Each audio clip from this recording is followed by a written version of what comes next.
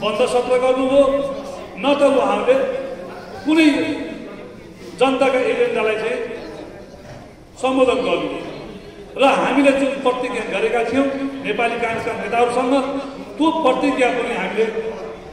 नयाँ पार्टी बनाएर जान्छौँ भनेर हामी अगाडि बढिरहेका थियौँ। त्यही दौरानमा हाम्रो यस पार्टीका आदरणीय सभापतिज्यू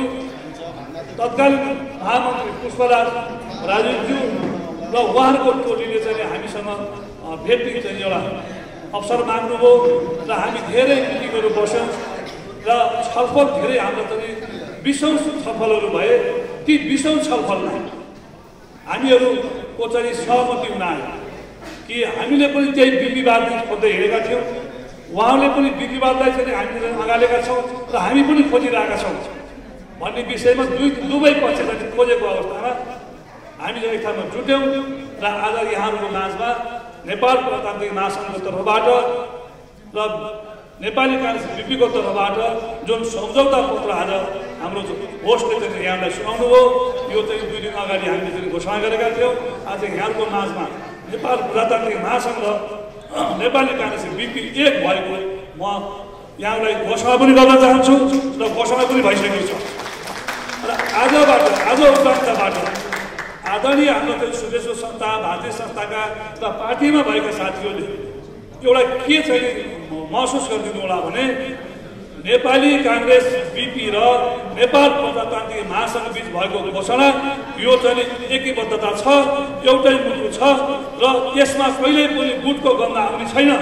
भन्ने कुरालाई पनि मैले यहाँलाई यो मञ्चबाट चाहिँ घोषणा गर्न चाहन्छु। हामी गुट रहित नेपाली काङ्ग्रेस बिपी गुट रहित देशमा एउटा उदाहरणीय पार्टी चाहिँ बन्ने छ र उदाहरणीय पार्टी चाहिँ हामीले अरू पार्टीलाई चाहिँ देखाउनु पर्नेछ विरोधीमा हामी लड्छौँ र जनतालाई चाहिँ बिपी बाबुले भन्नुभएको थियो त्यो बेलामा जसको घरमा पनि एउटा सानो कटेरो होस् एक घर गोरु गोरु होस् एउटा दुर्नु गाई होस् र थोरै भए पनि कमाउने जमिन होस् भन्नुभएको थियो तर आज समयको चाहिँ परिवर्तनमा त्यो पनि खोज्ने हाम्रा चाहिँ किसानी साथीहरू हुनुहुन्छ तिनीहरूको पनि हाम्रो सम्बोधन हुन्छ तर आज के खोजेको छ जनताले भने मेरो घरमा एउटा इन्टरनेट होस् मेरो घरमा एउटा ल्यापटप होस् मेरो मेरो घरमा चाहिँ मेरो परिवारले चाहिँ स्वास्थ्य सुविधा पाओस् मेरो परिवारमा एउटाले भएको पाओस्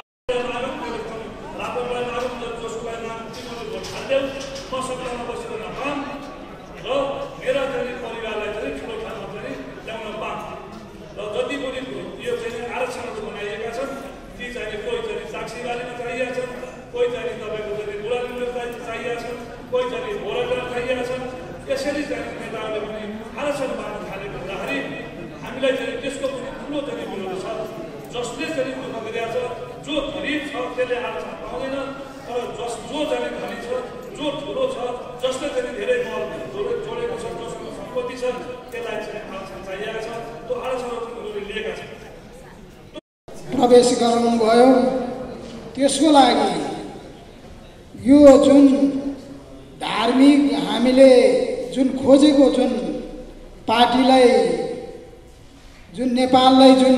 एक्काइसौँ शताब्दीमा धार्मिक पार्टी नै चाहेको यो देशले अब जेनेरेसन युवाको जेनेरेसनमा पनि आध्यात्मिक जेनेरेसन हुनुपर्छ भन्ने मेरो मान्यता थियो। र यसमा विभिन्न धर्म जात जाति विभिन्न समुदायहरूलाई भेदभाव नरही भगवान् बुद्धको जस्तै विश्वलाई अहिंसा जो हिंसाबाट मुक्त गराउने अहिंसाको मार्गदर्शन र वसुदैव कुटुम्बको जस्तै जुन मैले आज यहाँ बिपी कङ्ग्रेसमा देख्यो। आगामी दिनमा जुन आउने चुनावमा सायद राम्रोसँग मिहिनेत गर्नुभयो भने पहिलो दोस्रोसम्म पनि हुन सक्ने सम्भावना छ। प्रान्तमै राजनीति तलमाथि भइरहेको थियो अझ भन्यो भने अहिले सार्क मुलुकमा भारत पाकिस्तान अफगानिस्तानमा त एकदमै नराम्रै राजनीतिक विकृतिहरू आइरहेको थियो। त्यस बेला चाहिँ पाकिस्तानबाट उठिएर चाहिँ बङ्गलादेशको अ, बङ्गलादेशको भयो र सिक्किम राष्ट्र चाहिँ भारतमा विलय भएकोलाई हामीले टेन्सन हुँदैन त्यो समयमा हो जुन बेला भारतमा तत्कालीन प्रधानमन्त्री इन्दिरा गान्धीले इमर इमर्जेन्सी लागेको अवस्था थियो र नेपालमा विशेष प्रसाद परेर अर्थात् नेपाली काङ्ग्रेसले आन्दोलन गरिरहेको थियो। त्यो आन्दोलन थियो प्रजातन्त्र र जनताको अधिकारको निमित्त भारतको प्रवासमा बसेर नेताहरूले चाहिँ आन्दोलन नेपालमा जारी गरेको थियो। त्यस अवस्थामा बिपीको भारत प्रवासको काल कार्यकालमा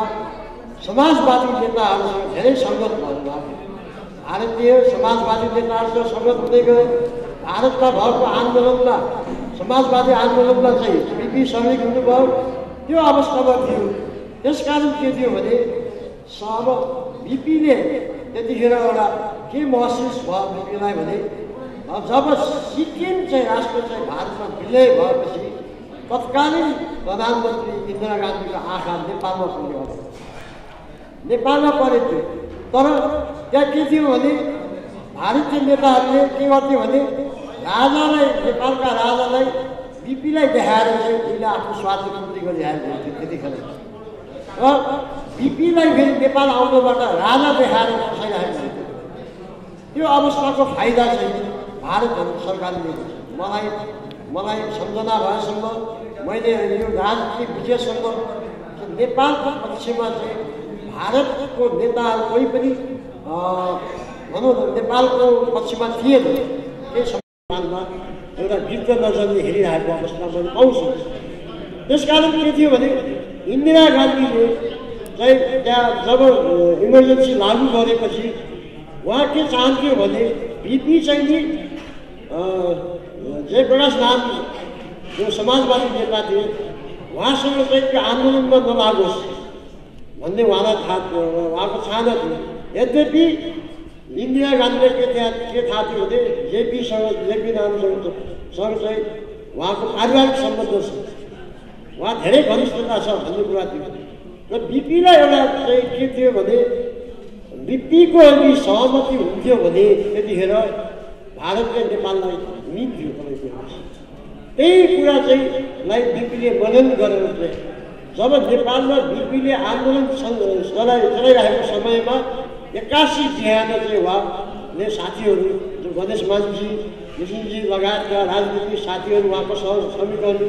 पारिवारिकहरूलाई राखेर चाहिँ उहाँले एक्कासी बिहान के भन्यो अब म नेपाल राष्ट्रिय नीति लिएर फर्किनेछु